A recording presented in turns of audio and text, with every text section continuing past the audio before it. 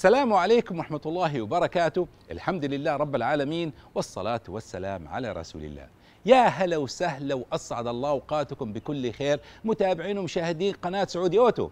السيارة اللي حنجربها لكم اليوم ونعطيكم تفاصيلها هي متسوبيشي سبيس ستار موديل 2023 وإذا حابين تجربوا وتشتروا أو أي معلومة ما غطيناها في تجربة اليوم ادخلوا موقع سعودي أوتو dot com dot SA وعبوا الاستمارة تحت تجربة القيادة وإن شاء الله حنلبي طلباتكم. والحين تعالوا معايا نشوف تفاصيل السيارة سبيس ستار مع بعض. متسوبيشي سبيس ستار هي سيارة بتنتجها الشركة المصنعة اليابانية متسوبيشي Motors من عام 1999 حتى عام 2005 في مصنع NedCar في هولندا وكانت مركزة آه، مبيعاتها في الأسواق الأوروبية. وتتشارك سبيس ستار في قاعدة عجلاتها مع سيارات زي متسوبيشي كاريزما وفولفو V 40 و S 40 تنافس في فئة الهاتشباك أو نقدر أو تقدر توصفها بأنها سيارة نقل ركاب حجمها صغير أو micro MPV يعني سيارة حجمها صغير متعدد الأغراض وتنافس في أسواقنا سيارات زي بيجو 208 وكيا ريو تيجي المتسوبيشي سبيس ستار موديل 2023 لأسواقنا بفئة واحدة فقط وهي ال full الكامل HL. وسعرها 52900 ريال ما يعادل 14106 دولار. وهذا السعر يشمل قيمة الضريبة المضافة فقط غير شامل إصدار اللوحة والاستمارة والرسوم الإدارية. وعملنا مقارنة ما بين أسعار أو سعر المتسوبيشي سبيس ستار ومنافسها. حتظهر أمامكم على الشاشة. ابعاد المتسوبيشي سبيس ستار الطول 379 ونص سنتيمتر والعرض 166.6 من 10 سنتيمتر والارتفاع 150 ونص سنتيمتر وطول قاعدة عجلاتها 245 سنتيمتر وارتفاعها أو خلوصها عن الأرض بتعطينا 15 سنتيمتر ومثل ما دائما بنقول أن أبعاد السيارة بتعطي المقدرة للمصممين تصميم هيكل السيارة الخارجي ومساحة ورحابة المقصورة من الداخل. وعملنا مقارنة ما بين أبعاد المتسوبيشي سبيس ستار ومنافسها حتظهر امامكم على الشاشة. الهيكل الخارجي للسيارة سبيس ستار شركة متسوبيشي بتقول إنه تصميمها يجمع ما بين الإطلالة والمظهر الديناميكي المتقدم. وزي ما أنتم شايفين نشوف السلاسة والانسيابية للتصميم اللي بتعطي معامل سحب اللي هو drag coefficient 0.27 وهذا بيقلل من أصوات الهواء وثاني أكسيد الكربون والأهم هذا كله يرفع من كفاءة في استهلاك الوقود ويعطي السيارة رساوة على الطريق ومن مزايا الأيروديناميكية هي حافة مزدوجة في نهاية سقف السيارة وطبعا حاجز هوائي وأسفل السيارة مغطاة. الواجهة الأمامية الواجهة الأمامية زي ما أنتم شايفين غطاء المحرك عليه خطوط وتجاعيد نازلة للواجهة الأمامية. شبك التهوية الأمامي جاي بشريحتين عريضة مع لمسات باللون الأحمر وفي الوسط اللي هو شعار متسوبيشي الأضواء الأمامية هالوجين في الأولى؟ لكن في الفئة ال full يجي LED مع أضواء DRL اللي هي نهاريه LED والصدام الأمامي مدمج فيه كشافات الضباب على جوانبه. وأسفله اللي هي فتحة تهويه عريضة أسفلها شفة بارزة تعطي شكل رياضي.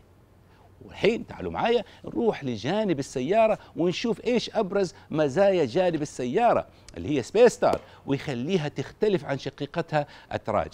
طبعا هو الجزء الخلفي المايل هذا هو الجزء الخلفي اللي يفرق ويميز السيارة لأنه هذا اللي هو بيظهر تصميم السيارة الهاتشباك.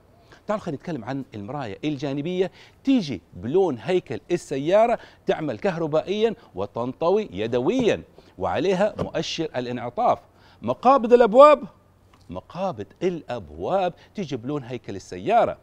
أما بالنسبة للجنوط تعالوا خلينا نتكلم عن جنوط السيارة. طبعا تيجي بجنوط جديدة طيس مقاس 14 بوصة للفئة الأولى. ومقاس الإطارات 155 على 65 R14 وجنوط مقاس 15 بوصة ألمنيوم للفئة الفل. ومقاس الإطارات 175 على 55 R15 الشكل الخلفي في الأعلى هوائي عادي اللي هو الأنتانا العادي تحته جناح رياضي صغير يتوسطه اللي هي أضواء المكابح. أضواء خلفية طبعا زي ما أنتم شايفين ممتدة لجوانب السيارة هالوجين وكشافات ضباب خلفية والصدام الخلفي على جوانبه اللي هي عاكسات الأضواء هذه. وطبعا يجي فيها كاميرا خلفية كاميرا خلفية موجودة هنا تقريبا تعتبر مدمجة في الصدام الخلفي. وكذلك آه، طبعا الكاميرا هذه على فكرة ما تيجي إلا في آه، فئة واحدة وهي اللي بتيجي عندنا هي الفئة الفل. وفتحة العادم فتحة العادم طبعا مخفية في الأسفل موجودة. ونشوف ديفيوزر في الوسط أو أسفل. السيارة يجي بلون هيكل السيارة. جميل جدا. بيعطي شكل رياضي للسيارة. باب صندوق الأمتعة يفتح يدويا. ومساحة التخزين تعطينا 235 لتر. ولما نطوي ظهر المقاعد الخلفية تنطوي. 60 40 وتعطينا مساحة وقدرها 910 لتر. وعملنا مقارنة ما بين متسوبيشي سبيس ستار ومنافسها من ناحية مساحة صندوق الأمتعة. حتظهر أمامكم على الشاشة. أما بالنسبة للأشياء الموجودة في صندوق الأمتعة تجي اللي هي حقيبة أو شنطة اللي هي آه عدة المساعدة على جانب الطريق ولما نفتحها نلاقي فيها اللي هو طفاية حريق وإسعافات أولية. وكذلك مثلث الطوارئ. هذه الأغراض اللي موجودة في حقيبة عدة المساعدة على جانب الطريق. ولما نرفع اللي هو سطح صندوق الأمتعة نلاقي اللي هو الإطار ال spare والأدوات لتغيير الإطار ال spare. هذه كل الأشياء اللي موجودة في صندوق الأمتعة.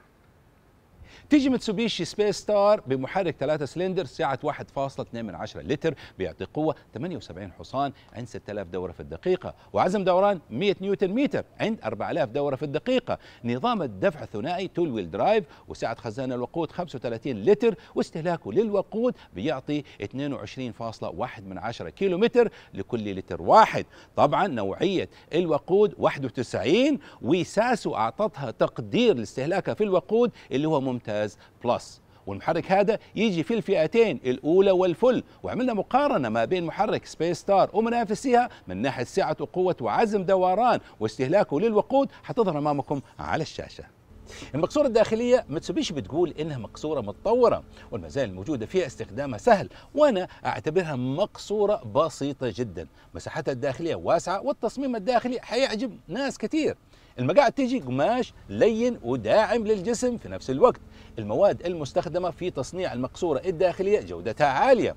لوحة العدادات تقنياتها عالية وتيجي بتكنولوجيا ذكية.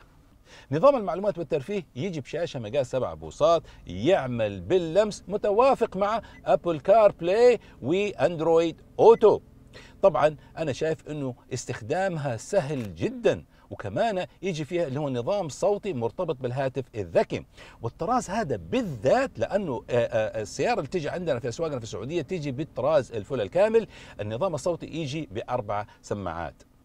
ويجي كمان فيها نظام التحكم بالصوت عن طريق اللي هو عجلة القيادة هنا على يسار عجلة القيادة. ونشوف كمان إنه يجي أسفل شاشة المعلومات والترفيه اللي هو نظام التكييف يجي يدويا. أو استخدامه يدوي. وأعلى الشاشة اللي هي فتحتين تهوية وعلى جوانب الداشبورد يجي فتحتين دائرية تهوية لنظام التكييف. ننزل على اسفل ونشوف وفروا اللي هو منفذ كهرباء موجود هنا 12 فولت واماكن لوضع الجوال موجود هنا ومنفذ USB موجود هنا.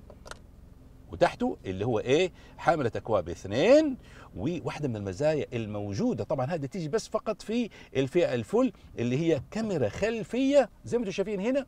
طبعا الكاميرا هذه تيجي بخطوط إرشادية توضيحية. آه وخلفها يجي اللي هو إيش؟ آه المكابح اليدوية موجودة هنا. واحدة من المزايا اللي ما كانت موجودة في الجيل السابق وعملوها في الجيل الجديد اللي هو إيه؟ تكاية موجودة هنا للسائق. أنا أعتبرها ميزة آه كويسة جدا للسائق ومريحة للسائق. والحين تعالوا معايا نروح للمقاعد الخلفية ونشوف راحة الركوب فيها كيف.